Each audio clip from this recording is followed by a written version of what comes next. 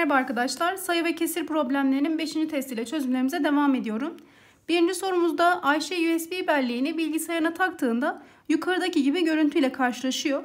Ayşe izlediği dizinin izlemediği bölümlerini almak için USB belleğini arkadaşına veriyor ve arkadaşı USB bellekten hiçbir veriyi silmeden Ayşe'nin izlemediği bölümleri sırasıyla USB belleğe kopyalıyor. Dizi ile ilgili bilgiler verilmiş. Dizi toplamda 12 sezondur. Her sezon 16 bölümden oluşuyor. Dizinin her bir bölümde 480 MB ve Ayşe en son 3. sezon 5. bölümü izlemiş. Buna göre arkadaşı USB belleğe bölümleri sırasıyla atarken en fazla kaçıncı sezon ve kaçıncı bölümü yükleyebilir? Şimdi e, elimizdeki USB bellekte 32 GB'ın 5,6 GB'ı doluymuş. O zaman şöyle diyelim öncelikle 32 GB'dan 5,6'yı çıkarttığımız zaman Burasına 0 yazdık 4. Buradan da ne geldi? 6 26,4 GB kaldı. Yani içerisinde bu kadar GB'lık boşluğu var. Bunun içerisine her bir bölümü 480 MB olan e, bölümler yüklenmesi istiyor. Şimdi bize de burada 1 GB'ın 1024 MB'a eşit olduğu da söylenmiş. O zaman şöyle yapalım. Şimdi mesela 1 GB'da bu kadar megabayt varsa o zaman 26,4 GB'da ne kadar megabayt var ona bakacağız. O da ne diyoruz? 26,4 ile 1024'ü çarptığımız zaman bu kadar gigabayta yani toplamda bu kadar elimizde megabayt olduğunu bulmuş olduk. Gigabaytı megabayta çevirdim ki dizinin bölümleri megabayt cinsinden verilmiş çünkü. Şimdi elimizde bu kadar megabayt boşluk var. Bunun bir bölümü 480 olan megabayttan kaç tane bölüm yüklenebilir diye soruyor.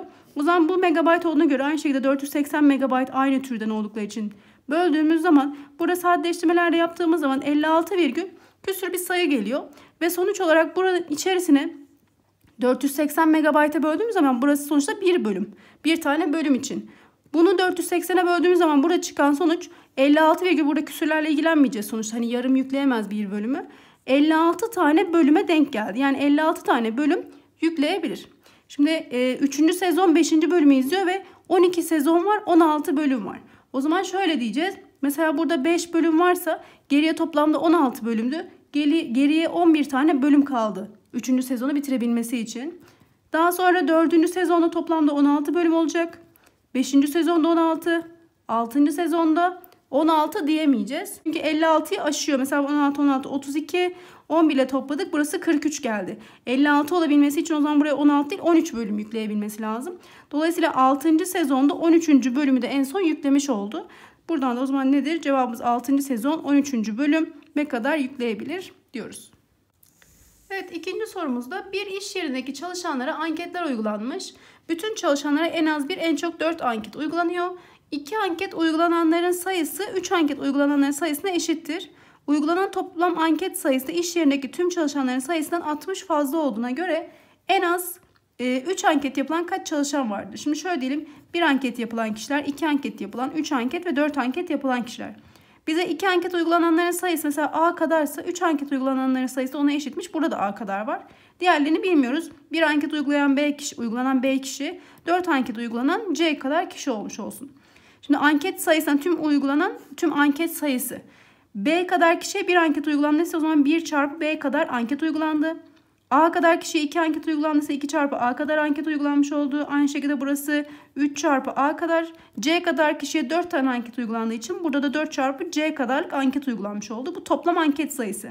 Bize bunun iş yerindeki tüm çalışanların sayısından 60 fazla olduğunu söylüyor. Peki tüm çalışanlarımız ne kadar ona bakalım. Tüm çalışanlarımız sonuçta A kadar kişi, A kadar, C kadar ve B kadar kişi var. Yani bunları topladığımız zaman da 2A artı B artı C kadar kişi geldi kişi sayısından 60 fazla olduğunu söylüyor. İşlemlerimizi yapalım. Şimdi burada 2 alır öncelikle bir gitti. Burada e, B değerimiz var. Onlardan kurtulduk. E, burada 3A kaldı. 4C burada karşı tarafa gönderdik. 3C oldu. Burası 60'a eşitmiş. 3'e böldüğümüz zaman A artı C sayısı da 20'ye eşit oldu. Şimdi bize ne sormuştu ona bakalım. En az 3 anket yapılan kaç çalışan vardır? Şimdi en az 3 dediğine göre 3 anket yapılanlarını alacağız ve 4 anket yapılanlar. Çünkü en az 3'ü istiyor. 3 anket yapılan A kadar kişi var. 4 anket yapılan 5 B, pardon C kadar kişi var. Dolayısıyla bizden aslında A artı C'yi istiyor. Biz de onu bulduğumuza göre cevabımız A şıkkı geldi. Üçüncü soruda her biri kendi içinde eş bölmelere ayrılmış. 3 deney tüpü ve bunların hacimleri aşağıdaki gibidir. Buna göre 2 bölü 5'i su ile dolu olan 3V hacimli deney tüpü. Şimdi 3V hacimli deney tüpünün 2 bölü 5'i doluymuş. 4 bölü 5'i su ile dolu olan V hacmi deney tüpü tamamen 2V hacmi deney tüpüne boşaltılıyor. Yani buradaki ile buradakinin bunun 2 bölü 5'i bunun da V'nin de 4 bölü 5'i buna aktarılıyormuş. Buna göre 2V hacmi deney tüpünün kaçta kaçı su ile dolu olur? Şimdi bu işlemlerimizi yapalım. Burası 6V bölü 5. Burası da 4V bölü 5. Eşittir. Buradan 10V bölü 5'ten burası 2V geldi. Dolayısıyla 2V'lik buradaki deney tüpüne 2V'lik kadar su konmuş oldu. Kaçta kaçı dediğine göre 2V'de 2V'si kadar su konduğu için o da 1'e denk gelmiş oldu. Dördüncü soruda Fatma öğretmen öğrencilerin aynı boyutlara sahip resim kağıtlarına dikey ya da yatay olarak yaptığı resimleri yeterince uzun bir tabloya topla iğne yardımıyla aşağıdaki gibi asarak sergileyecek. Dikey ya da yatay olarak asılan resim sayıları birbirlerine eşit. Fatma öğretmenin elinde sınırlı sayıda toplu iğne olduğu için yan yana bulunan her iki resmi toplu, iğne, toplu iğnelerden biri ortak olacak şekilde resimleri asıyor. Ve dikey resimler için iki toplu iğne, yatay resimler için ise 3 tane toplu iğne kullanılmış. Fatma öğretmen bu resimleri asmak için 82 tane toplu iğne kullandığına göre tabloda kaç tane yatay resim vardır demiş. Şimdi e, bunlar için bir örüntü bir düzen kurmaya çalışalım. Mesela yatay resim için 1, 2, 3. Şimdi burada bitiremem. E, ortak olarak yapılmış. Devam edelim. Bunu da almış olsak 4. Burada da ortak bir iğne. Buraya devam ettim. 5 geldi. Aynı şekilde bunu da kullandım. Bu da ortak iğne olduğu için iki tarafı da saydığı için 6. Burada da yani bunu almadan da bitiremem. Bunu aldığım zaman sonuç olarak burada bitmiş oldu. Yani şöyle söyleyelim. Mesela buraya kadar geldiğimiz düşünelim.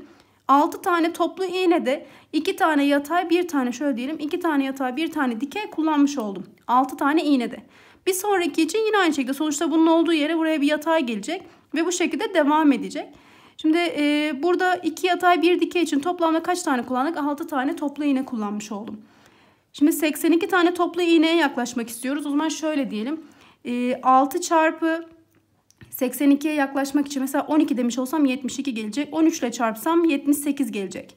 Şimdi altına zaten daha fazla geçsem 82'yi aşıyor. 13 defa o zaman buradaki bu seriden yani 2 yatağı 1 dikeyi kullandığını düşünelim 13 defa. Ve 78 tane de iğne kullandı. Şimdi en sondaki duruma bakıyoruz. En sonda zaten şurada bitirmiştik. Yani buradakini mesela bu sondakilerin bunu saydığımız düşünelim. Bunu saymadık. 78'den 82'ye de zaten 4 tane daha iğne kullanmamız lazım. Onlar da aslında buradaki ikisi için kullanılmış. 78'di, 79, 80, 81 ve 82'de toplam iğneler sağlanmış oldu. Şimdi buraya kadar, buradaki kısma kadar iki tane yatay, bir tane dikey kullanılmış oldu. Yani bunu da saymış oluyoruz tabii. Mesela bununla bu sayılmış gibi oluyor. İki tane yatay, bir dikey için 6 tane iğne kullandık ve bundan 13 defa tekrarladığımız için biz burada neyi sayıyorduk? Yatayları istiyoruz. Yataylardan 2 tane var. O zaman 2 çarpı 13 dersek burada 26 tane yatay e, resim kullanmış olacak. Daha sonra devam etti. Bir yatay bir dikey daha kullandı. Bize yatay lazım. Bir yatay daha ekledik o zaman buraya. Toplamda 27 tane yatay resim kullanmış oldu. Beşinci soruda Mert ile Bülent pozitif tam sayıları kullanarak şöyle bir oyun oynuyor. Mert Bülent'e pozitif bir tam sayı söylüyor. Mert'in söylediği sayı tek sayı ise Bülent bu sayının iki katının bir fazlasını alıyor. Şimdi söylediği sayı tek sayı ise diyelim söylediği sayının iki katını alıp bir fazlasını almış.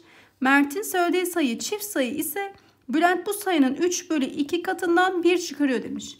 Buna göre Mert Bülent'e bir sayı söyledikten sonra Bülent'in bulduğu sonuç 17 olduğuna göre Mert'in söylediği sayı kaçtır? Şimdi 17 bunun da cevabı olabilir. Bunun da cevabı olabilir. Hangisi sağlıyor bakalım. Biri karşı tarafa gönderdiğimiz zaman 2 çarpı t'den 16 geldi ve burada tek sayının yani cevabın 8 olduğunu verdi. Ama biz tek sayının yani sonuçta t'nin tek olmasını istiyoruz. 8 olama, olamayacağı için bunu iptal ettik. Eksi 1'i karşı tarafa gönderdiğimiz zaman 3 çarpı ç bölü 2 18'e eşit sadeleştirdiğimiz zaman 6. Buradan da ç sayısı 12 geldi ve sonuçta ç sayısı bir çift sayı olduğu için sağlamış oldu. Dolayısıyla cevabımız 12 geldi. Altıncı soruda yukarıda bir taksi durağındaki A, B, C, D ve E taksilerinin park halindeki sıralamaları verilmiş.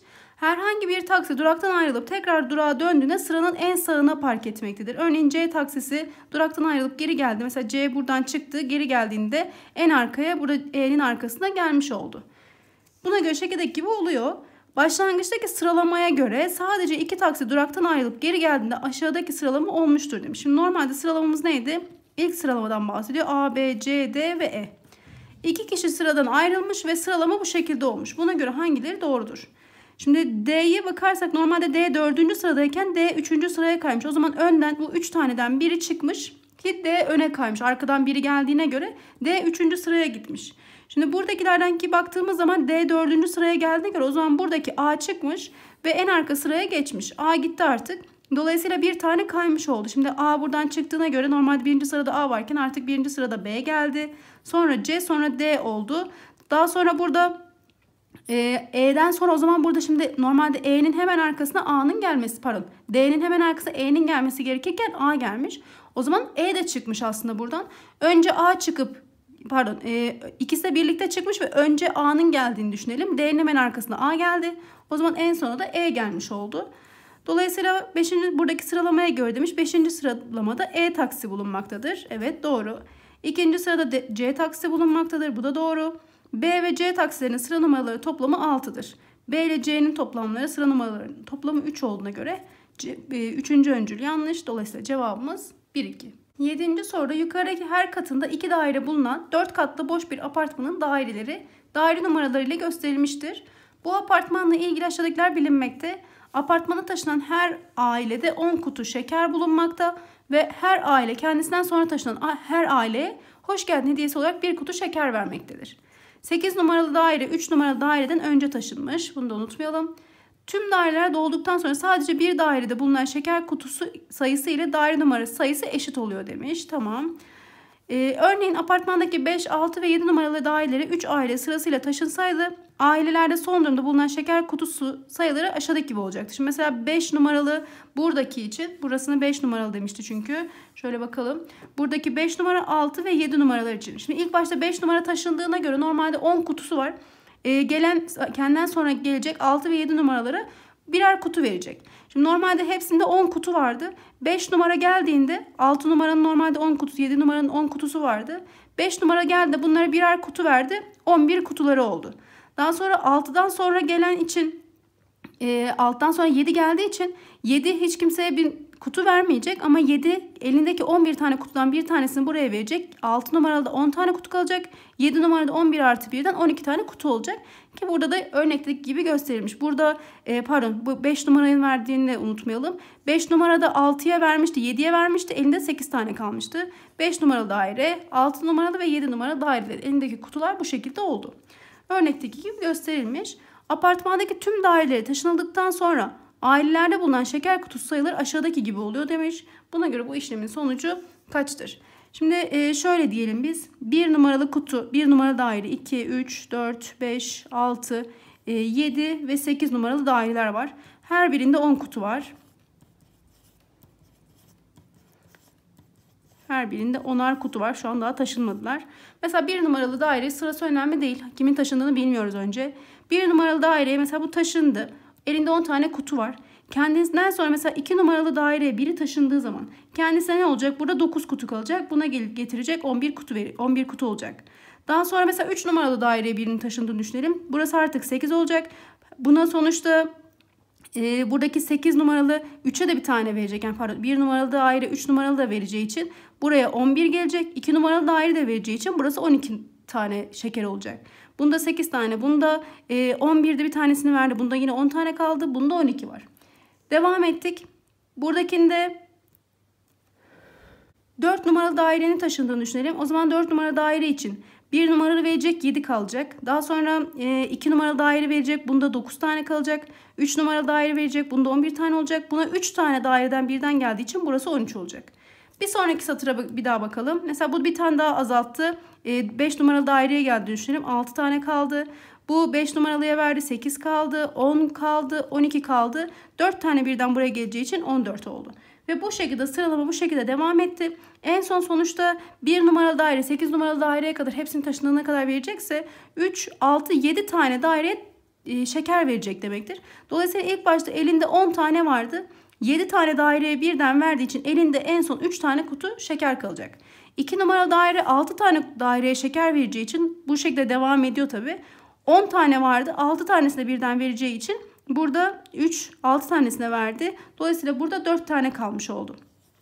Ama şöyle bir durum var sonuçta bundan da bir tane alacağı için 5 tane oldu.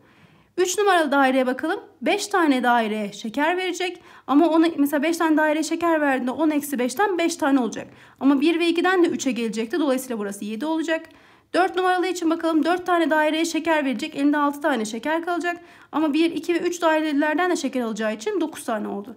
Dikkat ettiyseniz hep tek sayılar devam ediyor. 3, 5, 7, 9. O zaman burası artık 11. 6'ya denk gelen 13. 15 ve burası da 17. Ki kontrol ettiğimiz zaman elinde 10 tane vardı. 7 tane daireden birden 8 numaralıya şeker verildiği zaman 17 tane şeker kutusu gelmiş oldu. Dolayısıyla son durumda elindeki şeker kutuları bunlar oldu her bir dairenin.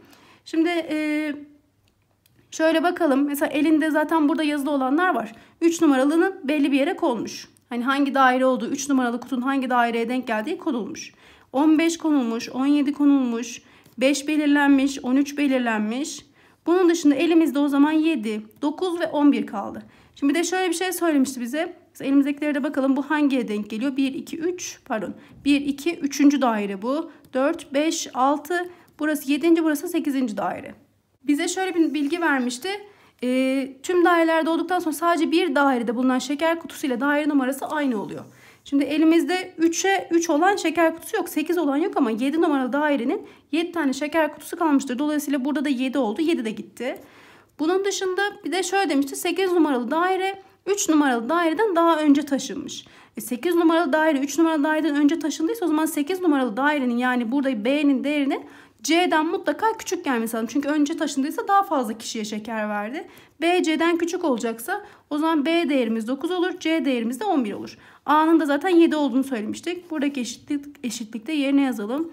A yerine 7 yazdık. C yerine 11. B yerine 9 yazdık. Buradan da cevabımız 9 geldi.